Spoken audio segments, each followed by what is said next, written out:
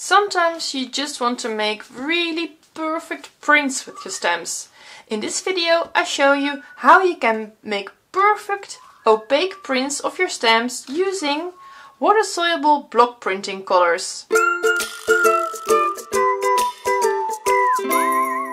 In this episode I want to uh, tell you about stamping with block printing color. This is a water-based ink especially made for printing. Think uh, about lino prints for example. This is just a really regular ink and it is not uh, used a lot in the crafters world because it's really specific type of paint. You cannot really paint with it because it is really sticky. Uh, it is uh, designed especially for printing. I was stamping uh, examples with the stamps I've designed for badass stamps and I really love stamps a lot. I have studied graphic design, but when I uh, chose that study, I was really in doubt because there were two departments at art school uh, when I was there studying, and the one was the the the contemporary uh, studies and the other the applied arts like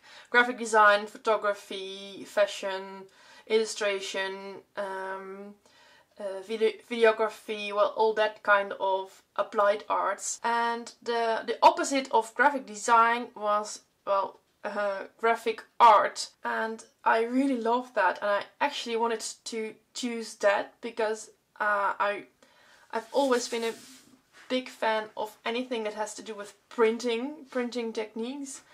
Um, but I figured that I could uh, make a better living being a graphic designer, so I chose graphic design. Anyway, uh, from that time I still I still have these block printing inks, and when I was making um, so they're like 15 years old or older, 17 years old.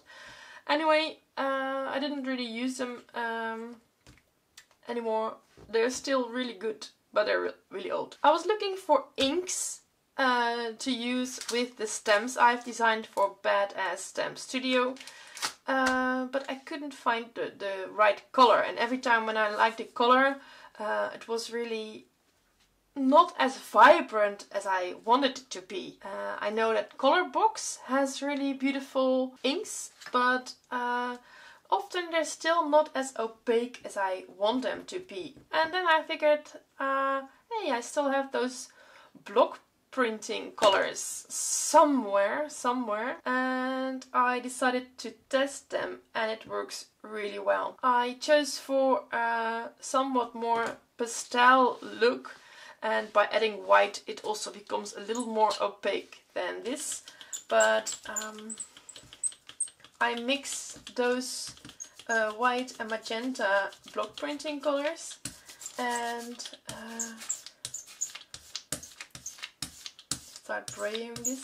It may look like a regular uh, acrylic paint like this but uh, the problem with acrylic is that you cannot use acrylic paint on clear stamps because you will really ruin your um, stamps with it because the acrylic paint will dry as a plastic layer and you will give uh, a very eerie structure on your stamps you do not want that.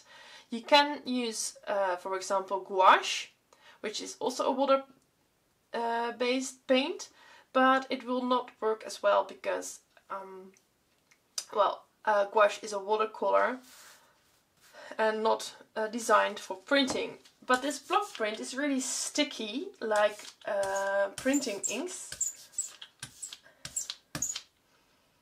It also smells like printing workshops.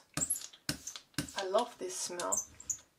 And then I'll add a good layer of the printing ink and you already see that it's really beautiful opaque layer. Oops, I've got this shoe here.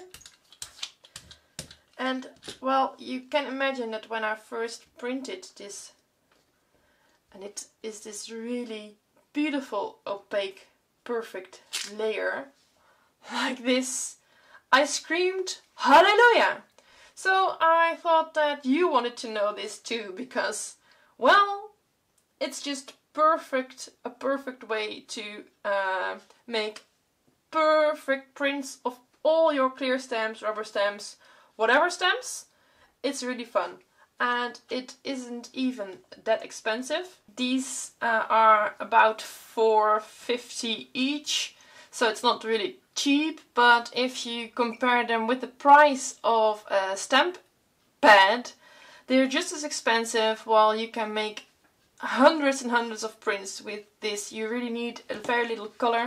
It stays sticky for quite a while. I just use it on paper now, but you can also brayer this on uh, a plastic sheet and it will not uh, dry really fast. You can uh, keep on using it for, well, a couple of minutes at least. Uh, you see that the print is already dry and it is just really a really beautiful opaque layer. So you can make uh, beautiful uh, backgrounds like these also on colored paper. paper. And what I did here was I just um, with the excess um, paint from my brayer I just went over it for a bit just to add a, a bit of extra color.